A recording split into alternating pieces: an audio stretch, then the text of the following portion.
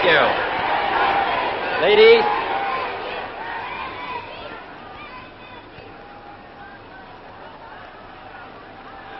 I am proud to come to this city as the guest of your distinguished mayor who has symbolized throughout the world the fighting spirit of West Berlin. And I am proud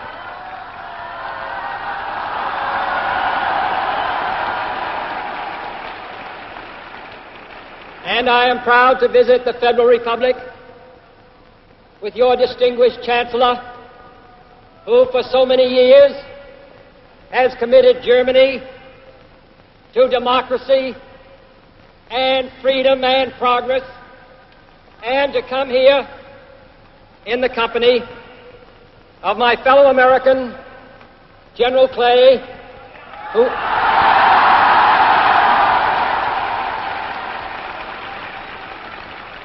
Who has been in this city during its great moments of crisis and will come again if ever needed.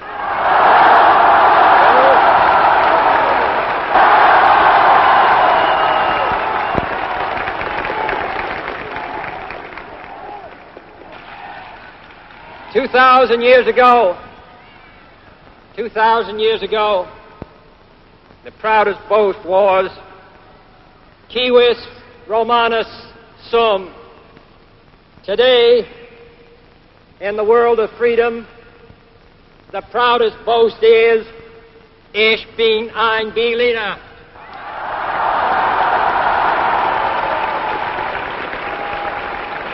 I, uh, I, I appreciate, I appreciate my interpreter translating my German.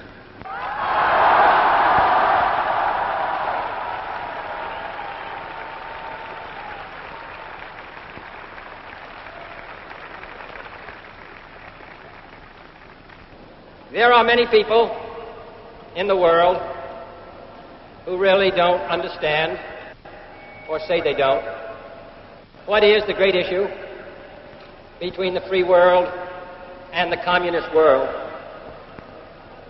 Let them come to Berlin.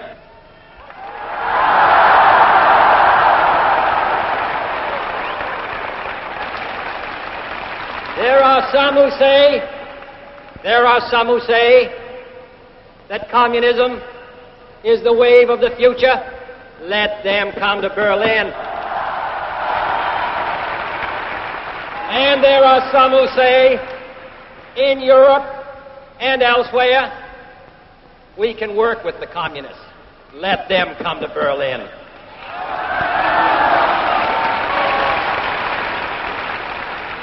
And there are even a few who say that it's true that communism is an evil system, but it permits us to make economic progress. Lass sie nach Berlin kommen. Let them come to Berlin.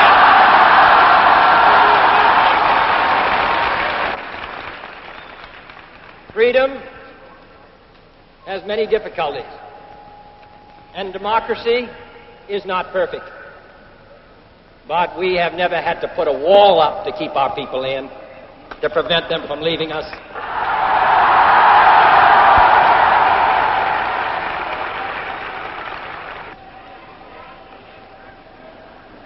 I want to say, on behalf of my countrymen who live many miles away on the other side of the Atlantic, who are far distant from you, that they take the greatest pride, that they have been able to share with you, even from a distance, the story of the last 18 years. I know of no town, no city that has been besieged for 18 years that still lives with the vitality and the force and the hope and the determination of the city of West Berlin.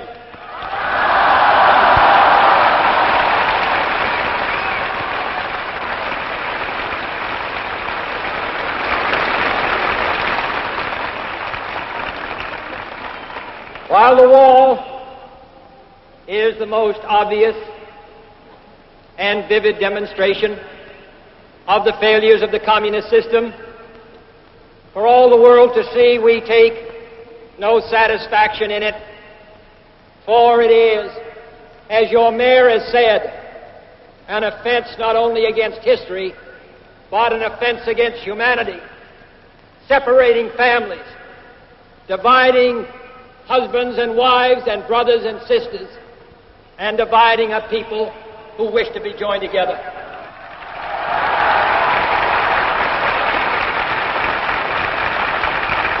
What is true of this city is true of Germany. Real, lasting peace in Europe can never be assured as long as one German out of four is denied the elementary right of free men, and that is to make a free choice. In 18 years of peace and good faith, this generation of Germans has earned the right to be free, including the right to unite their families and their nation in lasting peace with goodwill to all people.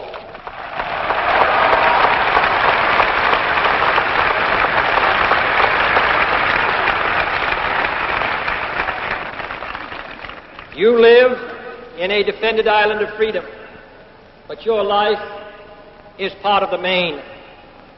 So let me ask you as I close to lift your eyes beyond the dangers of today to the hopes of tomorrow, beyond the freedom merely of this city of Berlin or your country of Germany, to the advance of freedom everywhere, beyond the wall to the day of peace with justice, beyond yourselves and ourselves, to all mankind. Freedom is indivisible. And when one man is enslaved, all are not free.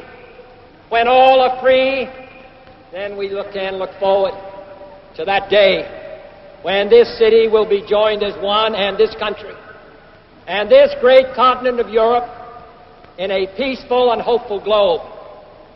When that day finally comes, as it will, the people of West Berlin can take sober satisfaction in the fact that they were in the front lines for almost two decades.